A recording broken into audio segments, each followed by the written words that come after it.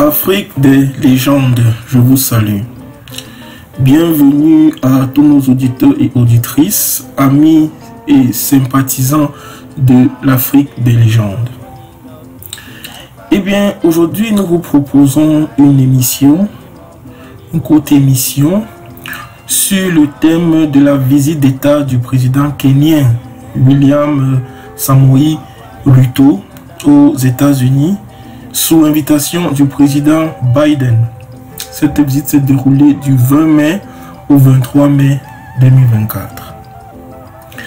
Alors, si vous êtes intéressé à une réflexion aux enjeux de cette visite qui concerne particulièrement et directement les Africains, je vous conseille, je vous exhorte d'aimer et de liker cette page et cette chaîne. Bienvenue encore. Eh bien, pour bien comprendre les enjeux et surtout les réalités géopolitiques, de cette visite du président kenyan aux États-Unis, nous allons au cours de cette émission euh, euh, aborder cinq points qui, n'est-ce pas, euh, nous feront comprendre effectivement ce qui se passe. Alors le premier point, nous allons définir ce que c'est qu'une visite d'État. C'est quoi une visite d'État? Eh bien, après nous allons parler de l'historique des visites d'État de présidents africains aux États-Unis. C'est très important. Ensuite, euh, les visites des présidents américains en Afrique. Euh, dans un quatrième point, nous allons aborder les contextes et enjeux de la visite du président kenyan aux États-Unis et notamment parler du cas de Haïti qui est très très significatif pour l'Afrique. Et enfin, nous allons donner une conclusion qui sera en fait une proposition d'une solution de sortie de crise, n'est-ce pas, de, de sécurité du territoire haïtien.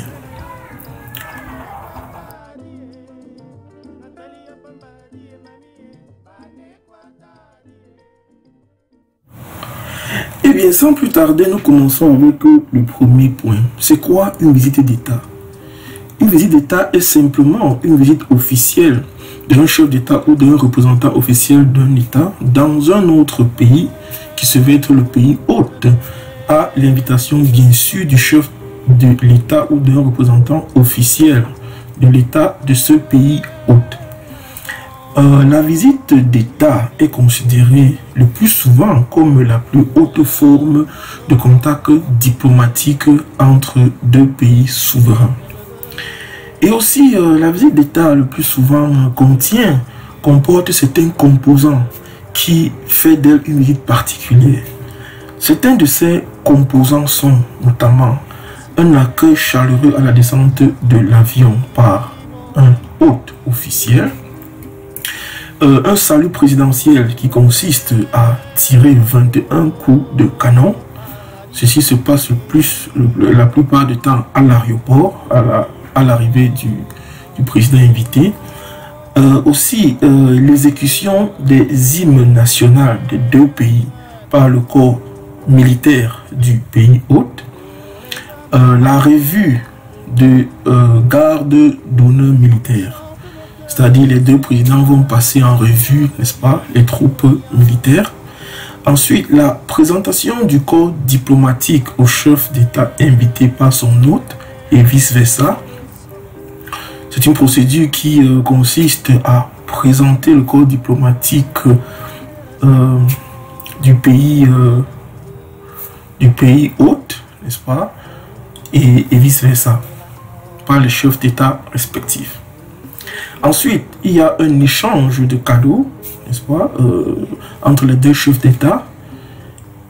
Le plus souvent, il existe un dîner d'État, un dîner ou un gala d'État un autre composant d'une visite d'État se veut être la visite du Parlement du pays hôte, qui est le plus souvent accompagné d'un discours officiel du président ou chef d'État invité. Il y a aussi euh, la visite de certains sites historiques, euh, la pose de gerbes de fleurs dans des cimetières ou sous des monuments célèbres dans le pays hôte. Aussi, il y a des événements culturels qui peuvent, n'est-ce pas, être planifiés pour célébrer la diversité entre les deux nations.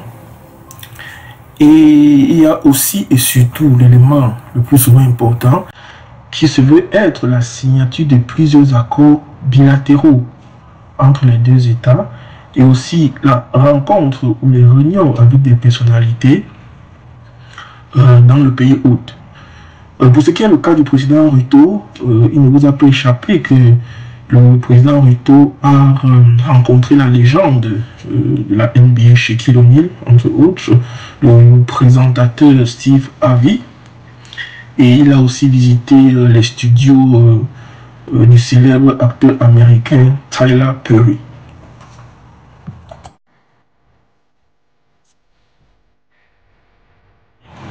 Convient aussi ici de souligner qu'il existe plusieurs autres types de visites entre deux nations.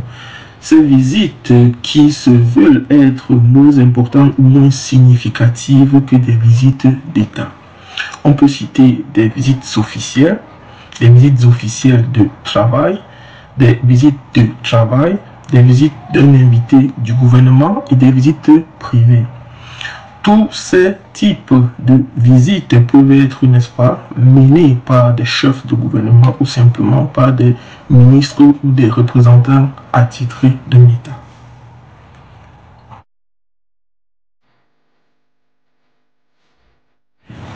À présent que nous appréhendons très bien le concept de visite d'État, nous allons parler de l'historique des visites d'État des présidents africains aux États-Unis. La première visite d'État d'un leader africain aux États-Unis remonte à 1961 et c'était la visite du président Habib Bourguiba de Tunisie qui a été reçu euh, par le président Franklin Roosevelt. Ensuite, en 1979, le président égyptien Anwar Sadat a été reçu par le président américain Jimmy Carter, où notamment les accords euh, Camp David ont été signés pour matérialiser la paix entre l'Israël et l'Égypte. En 1983, nous avons euh, la visite du président nigérian Shehu Shabari euh, qui a été reçu par le président Ronald Reagan. En 1994, le président Nelson Mandela a été reçu par le président Bill Clinton pour saluer notamment la soi-disant transition en démocratie de l'Afrique du Sud. Nous y reviendrons sur ce chapitre dans une prochaine émission. En 2003, il y a eu la visite du président kenyan Mwai Kibaki, qui a été reçu en visite d'État par le président George Bush. En 2008, le président ghanéen John Kufuor a été reçu par George Bush en visite d'État pour discuter notamment de la démocratie et de l'économie, entre autres. Et enfin, en 2024, euh, le président euh, kenyan euh, William Samoei Ruto vient d'être reçu par le président Joe Biden pour renforcer la présence militaire américaine en Afrique et aussi pour discuter comment contrer bien évidemment l'influence russe et chinoise grandissante sur le continent. Donc, au demeurant, on compte juste sept visites d'État des pays africains aux États-Unis depuis lors contre plusieurs dizaines, n'est-ce pas, des visites d'État des pays européens ou des pays de l'OTAN aux États-Unis.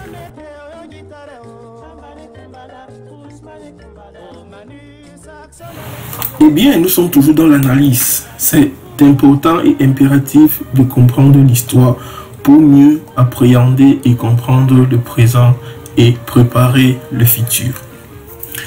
Euh, par ailleurs, on euh, compte environ 13 pays africains sur 54 qui ont, n'est-ce pas, bénéficié ou qui ont fait l'objet d'une visite d'un président américain. Il s'agit bien évidemment du Ghana, du Sénégal, de l'Afrique du Sud, Tanzanie, Kenya, Éthiopie, Rwanda, Libéria, Benin, Nigeria, Botswana, Ouganda et Somalie. Eh bien, il est donc facile de comprendre que le choix de ces pays des visites d'État, n'est-ce pas, obéit à des dessins bien précis, notamment des pays euh, qui devront, n'est-ce pas, faciliter l'expansion et la domination des pays occidentaux, en Afrique notamment. Et comme le disait le président Chirac, entre les États, il n'existe que des intérêts.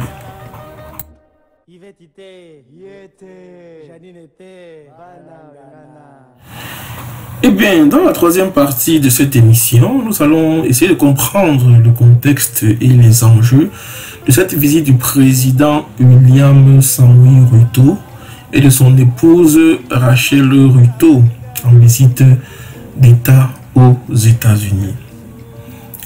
Je vous convie comme ceci d'écouter ce reportage très enrichissant euh, du média euh, TV5 Monde à propos de cette visite. Et nous allons commenter après ceci. Entre Washington et Nairobi, le début d'une longue lune de miel. Sous cette tente dressée sur les pelouses de la Maison Blanche, le président américain porte un toast en l'honneur de son hôte. Ce soir, la Maison Blanche rayonne grâce à nos invités. Que Dieu vous tienne dans la paume de sa main jusqu'à nos retrouvailles.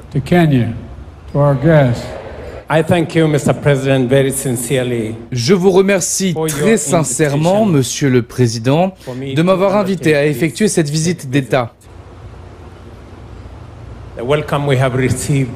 L'accueil que nous avons reçu, l'hospitalité du peuple américain ont été exceptionnels. Pour cette visite d'État, la première d'un dirigeant africain en 16 ans, Washington aura sorti le grand jeu. Dîner de gala avec la diaspora kenyane, musique country et gospel. Entre les États-Unis et le Kenya, une relation qui ne demande qu'à grandir. L'un cherche à regagner de l'influence en Afrique, l'autre est sévèrement endetté. Un accord commercial stratégique pourrait voir le jour d'ici la fin de l'année. La coopération sécuritaire se renforce. Un peu plus tôt, Joe Biden a annoncé la promotion du Kenya au rang d'allié majeur non membre de l'OTAN. C'est l'aboutissement d'années de collaboration. Nos opérations conjointes de lutte contre le terrorisme ont permis de réduire l'État islamique et Al-Shabaab dans toute l'Afrique de l'Est. Et notre travail commun sur Haïti contribue à ouvrir la voie à une réduction de l'instabilité et de l'insécurité. Le Kenya doit prendre la tête d'une mission internationale d'assistance au pays, presque entièrement financée par Washington. C'est pourquoi nous mettons en place une coalition de nations au-delà du Kenya et des États-Unis pour sécuriser le pays et briser les reins des gangs et des criminels qui ont infligé des souffrances indicibles à ce pays. Ce déploiement est toutefois contesté. Plusieurs décisions de justice kenyane ont retardé l'envoi des troupes. Plus d'un millier de policiers kenyans doivent à terme être déployés dans le pays.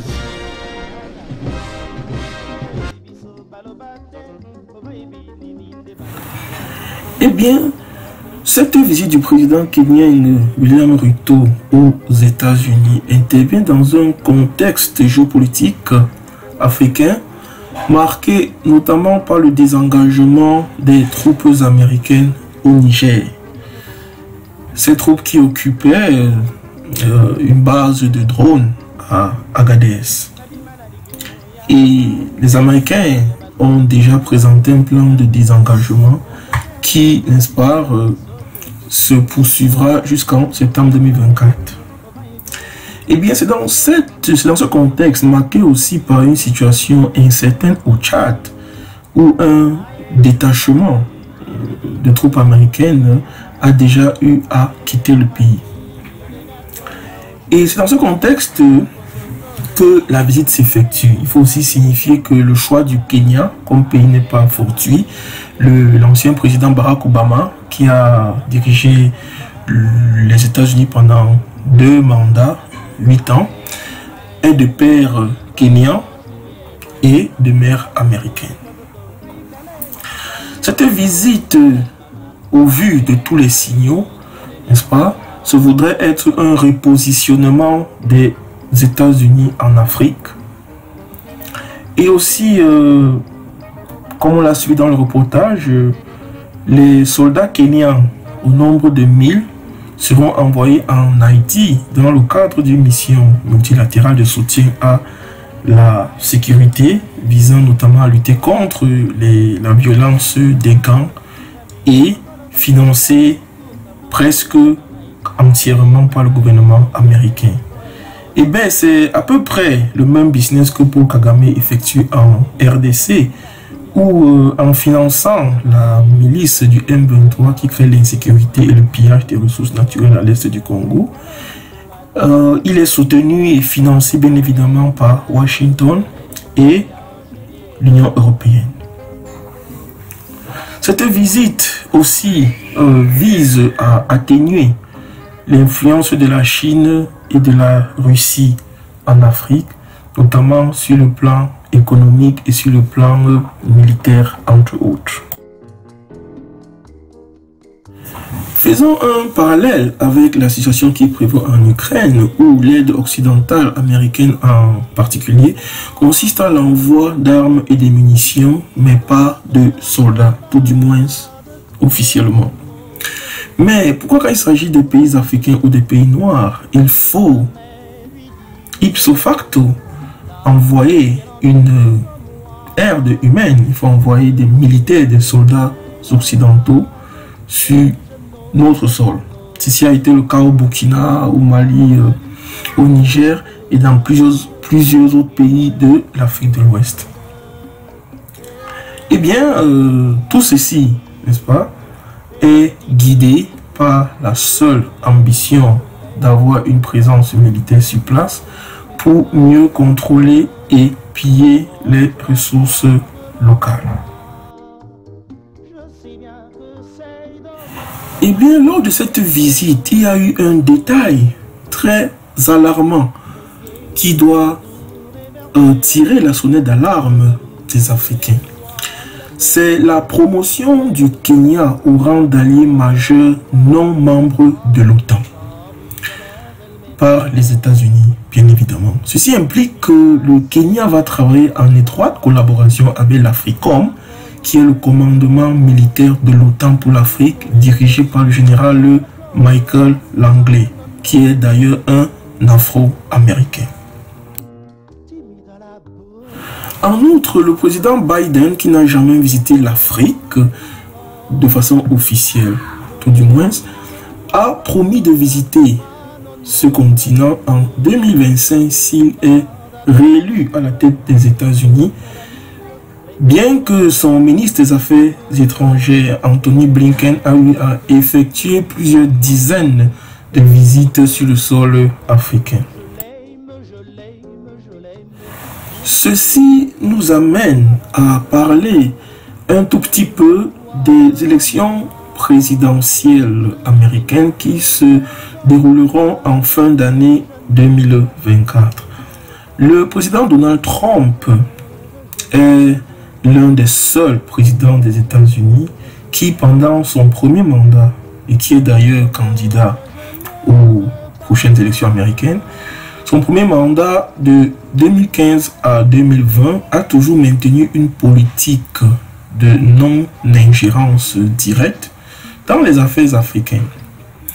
On se rappelle que sous le président euh, Trump, l'Afrique a plus ou moins été en paix en comparaison au régime d'Obama où la Libye a été attaquée en collaboration avec le président français Sarkozy et le premier ministre anglais David, Cameron, ce qui a augmenté la menace terroriste au Sahel.